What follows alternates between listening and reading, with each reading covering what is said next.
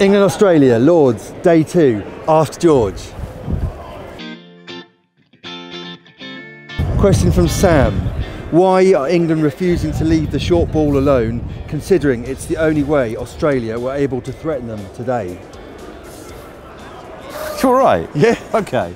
Too much Uh, coffee. Okay. Um, well, have you seen England play? I mean, that's what they do. And to be fair, the short ball thing, unless you're going to take it on, it'd be quite hard to score. And these guys, they're always going to back themselves, aren't they? So I thought it was a really interesting day. It was a day which you could absolutely use an example of everything that's wrong with this England approach, and a day which you could use an example of everything that's right about it. And they finished the day in a pretty good position, and it was a real tricky day. So, uh, an interesting topic. I don't like seeing Joe Root do unnatural things. I think to duck it. it's- Unnatural. Uh, well, he, he- he doesn't play like that normally, does he? Well, doesn't he? He has been under Bazball, but I don't like it when he does. He's got every shot. Yeah. Well, he, he- you get out for 10 and then he, he was dropped, you know, he's I know, but he got the- 100 and something last test. Yeah, okay, he's got runs in the bank. Yeah. M- question from, from Mike Can anyone explain what on earth England are doing? Australia's tactic is, quote, let's just wait for England to do something stupid, unquote. And my word, they are doing it. I'll say again though, they, they're right in the game, aren't they? I mean, they've lost, batted almost the entire day and scored, uh, only lost four wickets. Decent chance getting up to parity. I mean, it, it wasn't like it didn't work, it's just there were some wickets that looked unnecessary. But if you're going to try and score in the way they do, I think these things are going to happen. Having said that, I thought it was a real relief when Ben Stokes came in and played like the adult in the room. You say they're in the game, but they might be the better side, and actually they're not making the most of the fact that they are the better side. Look, I, I feared this time yesterday that by this time today they'd be in real trouble in this series, and the fact is they took seven for 100 and have given themselves a decent chance of parity or even better. So I, I, I thought England had a good Take day. the positives, okay? Well, it's not um, just taking the positives. I thought England had a good day. They did have a very good day. And they had a poor day yesterday. Yes. Okay, Josh Caswell says, will England be the first team to all all be out stumped? Be all out stumped? All be I, out I know, I know what you mean, uh, but not today. but you know, this, again, it is a legitimate way of getting wickets. And uh, I mean, Zak Crawley he scored more than 40. I mean, he did his job, didn't he? Tom Vickers says, could Crawley ever get a better opportunity to repay the faith captain and coach have shown him? Well, he's yes. I mean, there was that test on. I mean, I mean in Pakistan, Tory played on some pretty flat wickets, and he's played on some pretty flat wickets this summer. And um, largely, they would argue that he has repaid his faith. Don't you think? And it, uh, uh, you know, you have to remember the job he's been asked to do, which is to set the tone opening batter. Everything's different to how it used to be. Yeah, Ben Duckett doesn't leave the ball. I remember Mark Butcher saying he tried to play as few balls as possible in his in the first hour, I think, of his innings. Well, Ben Duckett plays everything. So the game's changed, and um, uh, I think Crawley would think that he had had a pretty good day today. Okay, Simon Stokes says, did England get a talking to overnight? They are a different team today. I reckon that question came in early. Uh, yeah, it did look a bit as it like that. They uh, they um, they ran in harder, they hit the pitch harder. I thought they bowled better. Yeah, um, and yesterday they were sloppy. But I don't think it's just about effort, is it? I mean, a lot of things go into a performance, and I think maybe the balance between pressure off mm, and not training enough uh, may have they may have got that slightly wrong in the last few weeks. You know, I get that they don't want to overtrain. I get that they don't want to be too tense. But when you're overstepping a lot and when you're missing quite a lot of chances in the field, that suggests that there's something wrong in practice. I think. Is that fair? Yeah, yeah. Um, they, you know, playing golf at St Andrews didn't sort out the no ball problem, did it? Um, JDK 1970 asks, "Will ego be the death of Bazball?" Yeah. The yeah, yep, okay. Might go back to somebody more traditional like Alex Stewart as coach maybe one day. We'll see. Andrew Leggett says, "Is Bazball an excuse to play brain dead cricket, but have no responsibility or accountability?" Similar themes here. Uh, it, it is, but it isn't just that, is it?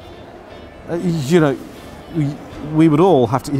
I, I have reservations about it. I think it's simplistic and unsophisticated, but you'd have to acknowledge that it's had some success as well, and that England have played some of the most unlikely, joyous, successful cricket in the last year.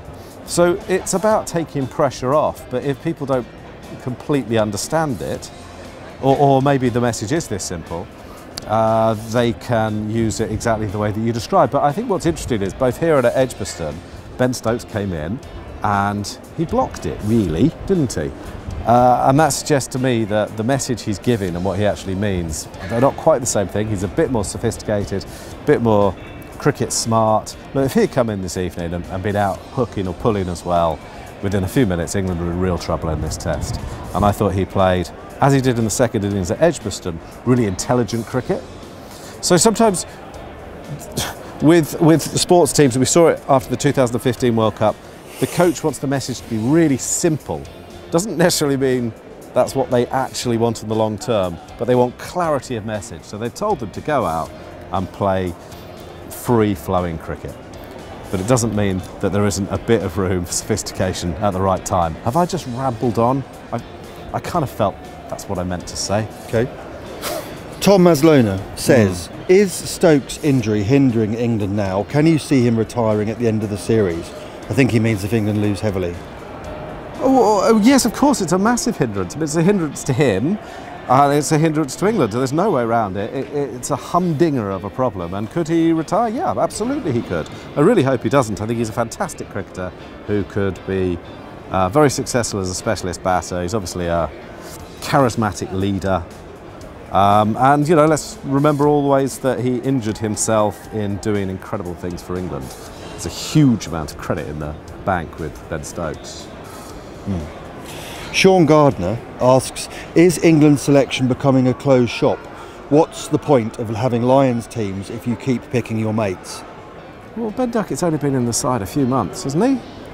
And uh, there'll be a few others. I mean, Moeen Ali, I guess he means, doesn't he? I don't know what he means. I think he means uh, Moeen Well, I don't know. You're reading a lot into the question. Well, what is there? Some sort of cadence Well, in they that didn't. tweet They didn't. that suggests that? Well, no, they didn't go to a spinner from the county like um, Dawson or Carson, and they went back to Moeen, who had bowled a ball in red ball cricket since September 2019. And, and he bowled some 2021, sorry. beautiful balls, and if they'd had people who could catch and stump better, he would have taken five or six wickets in the game, despite the injury. I mean, it was a risk, and I don't know that it came off. But I, I'll, I'll say again, I think Moeen Ali's best deliveries are better than anyone else's who is available to England. So I don't think it was a completely outrageous decision because we know that England's spin bowling stocks are, are, are not all they might be. Um, you know, you've got to get the balance right. I mean, there's obviously some logic in your question, and I, I'm not dismissing it. I really don't mean to at all. Uh, but we don't want to go back to the stage where 29 players, I think it was, played in the 89 Ashes. You know, so you've got to get the balance between you, you, you, you want them, that you want it to be a meritocracy, as you say. Of course you do. But you also want them to feel free and confident and backed because we all react better to the carrot than the stick.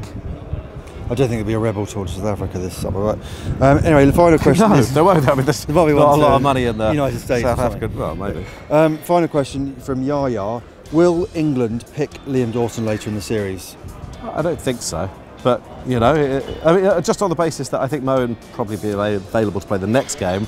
Rehan Ahmed has been called into the squad, so you would suggest there's some sort of um, pathway that has been blocked by those two at least. But Liam Dawson's a very good cricketer, and I might well have played him here. But you know, let's be careful about what Liam Dawson is. He's a very good cricketer, but just because what did he take 12 in that match last week? He was obviously playing on a, an unusual wicket.